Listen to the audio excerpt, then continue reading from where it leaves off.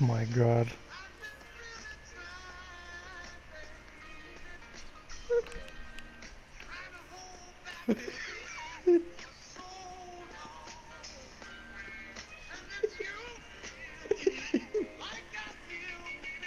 Hey, uh, Crimson, I think it's about time I let you know something.